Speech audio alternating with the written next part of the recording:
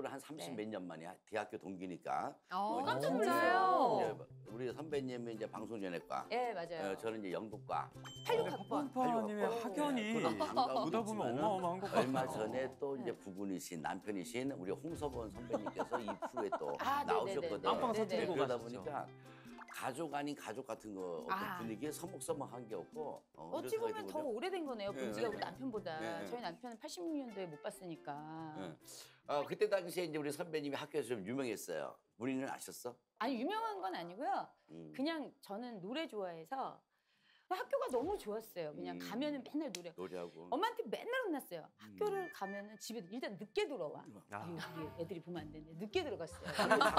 이미 이게 말씀하셨어요. 노래하시느라 그랬던 또 거죠. 극장에서 네. 자고 근데 어쩔 수 저희는 없었어. 저희는 응. 그 작품이 날밤 새는 작품은 없어요, 솔직히. 근데 이때 박미경 언니가 저랑 네. 의자매인데 아. 언니가 노래를 이태원에서 때 이게 피아노 치면서 노래를 했어요. 그러면은 그리고 저 이제 작곡해준 오빠 바보 같으면서 작곡한 오빠도 같이 막 가면 맨날 노래하는 거 보면 그냥 그것만 봐도 즐거운 거예요. 음. 그러니까 그때 걸그룹으로 행복했던 데뷔하셨잖아요. 되게. 근데 우리 이제 연극과. 친구들은 이제 우리 최근에 또 맹활약 저도 이제? 기억하는 모습이 참 좀 고상하고 성숙해 보인다고. 성숙해요? 어, 이, 이미지. 아 그래요? 예, 완전 동양적인 마스크. 동그랗죠 동양, 저는. 동양 미인. 미인은 아니고 그냥 어. 동양인.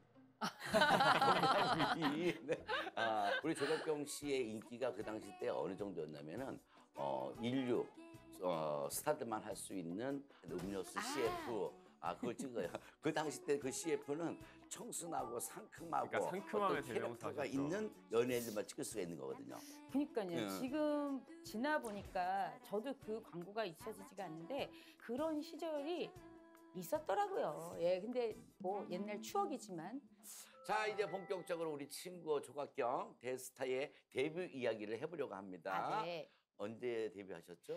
저는 86년도 대학가요제를 그러니까. 나가서 음, 음. 거기서 이정석 씨를 만나게 됐어요. 아. 이정석 씨가 그 대학가요제 금상 받은 네, 그. 첫눈이 온다고요. 슬퍼. 예, 아시죠? 예. 같이 동기였어요. 음, 같이 동기라 이제 이정영 씨, 이정석 씨를 알게 돼서 88년도에 사랑의 대화라는 노래를 음. 함께 불러서 아, 명곡이죠. 생각지도 않는데 그 노래가 이제 너무 인기가 있었던 거예요. 그래서 버라이어티 쇼부터 음. 하게 됐었던 것 같아요. 처음에. 음. 그래서 88년도 12월에 아, 오디션을 보고 음, 음. 89년 4월부터 이제 제 독집 바보 같으면서 앨범을 활동을 하게 된 거예요. 그러니까 음. 엄청 짧죠 이게. 그러면 이제 그때 이정석 씨와의 어떻게 해서 이제 듀엣을 하게 된 거예요?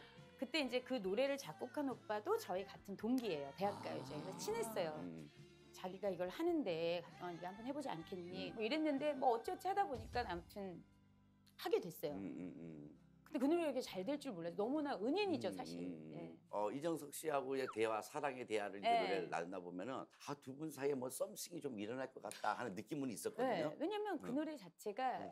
너무 이 사랑 음. 노래이기도 하고요. 그래서 제가 공연을 같이 가면 저 되게 좀 약간 난감했던 게 예. 이게 처음으로 이제 콘서트를 이정석 씨가 음. 하는 거예요. 그 노래를 하려고 이렇게 딱 섰는데 무대에서 저쪽에 사람들 쫙 있는데 갑자기 엄청 팬들 여자 팬들 많았거든요 이정석 씨가 근데 노래하려고 딱 섰더니 따라잡아 막 따라잡아 이러는 거예요. 그래갖고 내가 너무 무서운 거예요. 그래서 어 그런가 그래서 마이크를 들고 이렇게 이렇게 이렇게 옆으로 떨어졌어요. 그러니까 네. 또 거기서 있다가 갑자기 붙어라 또 그러는 거예요. 아, 또 그래서 내가 붙어라. 뭐 그런 에피소드가 어느 사실 장단에 맞춰야 되는 심심찮게 거예요? 있죠. 야. 네.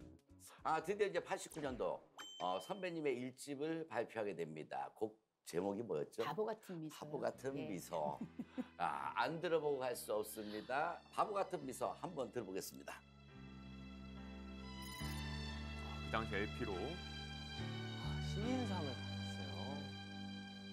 그대의 눈빛은 언제나 나에게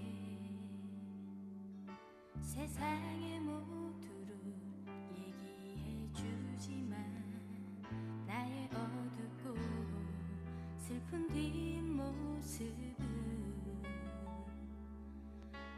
Sẽ chỉ.